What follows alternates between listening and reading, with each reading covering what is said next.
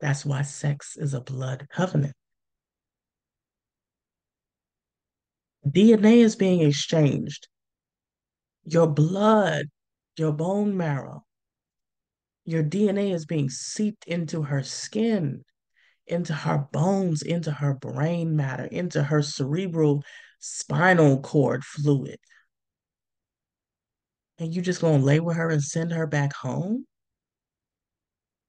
You already won with her. You have literally already transformed her DNA. You are literally sending her home, not her parents' child anymore. Mm. Think about that. You have made her a new creature. That's not their child anymore. You have already started to change her DNA. That's not their child anymore. You have sent home a new creature. How dare you? You better keep her.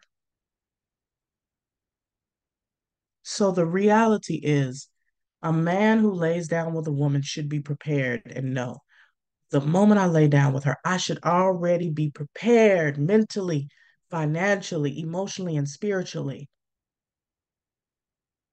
to care for two lives at least, to care for her as my own. Because I have taken this child from her parents' house and I have made her something new. And in addition, I have created a new life within her that I am responsible for as the fruit of my loins.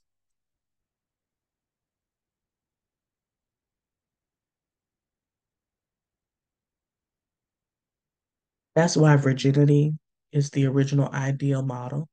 That's why monogamy is the original ideal model.